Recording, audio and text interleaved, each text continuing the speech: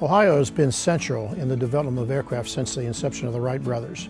Uh, we have continued to develop new technology and new operational characteristics of aircraft for the last 100 years.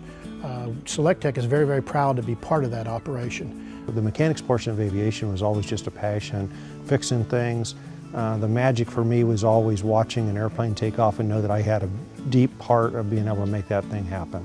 So Ohio's an ideal place to do business if you're in the aerospace uh, industry, uh, not only because of our great location, the geography of Ohio is, is, is a good spot. Uh, we've got great aviation infrastructure here in Ohio thanks to uh, really a history of leadership here in state government in Ohio and investment uh, by federal government. We've been in business for 42 years. We are one of the family type FBOs in this country. Um, it, it, it, was a unique situation when, when those started. Ohio was such a groundwork with a, an airport in nearly every county in Ohio. There was a family business at every airport for, for a very long time. We're located in Ohio, here at Springfield uh, Beckley Airport, because it's located quite closely to a, a lot of resources that are involved in the growth of, of aerospace.